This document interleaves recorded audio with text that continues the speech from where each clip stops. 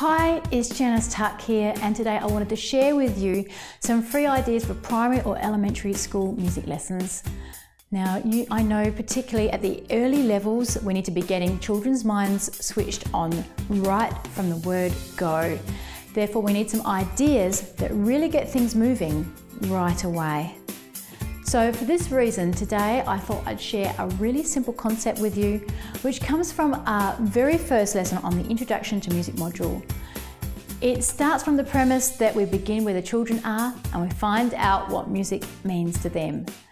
All children will have different ideas about this. Now, some will have been to preschool music or dance classes since they were two or three years old, and some who might have had parents who are really into music might listen to bands and go to concerts all the time. Some, however, might never have listened to music other than by accident. So it's important that we find out when we're first meeting these children for the first time.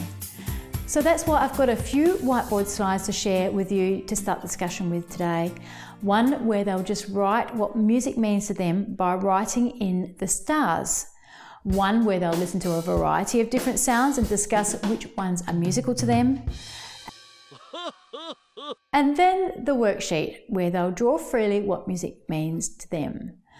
I think you'll find this a most insightful lesson and you'll get some fascinating responses back from the children and you'll be able to move on from there with increasing and expanding their awareness of music.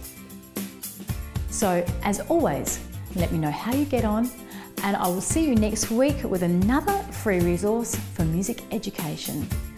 What you can do right now is register for our free online training seminar, which we're offering in the middle of this year. In this training, I'll be able to show you that no matter what technology you have, you'll be able to still do engaging and exciting music activities like this one.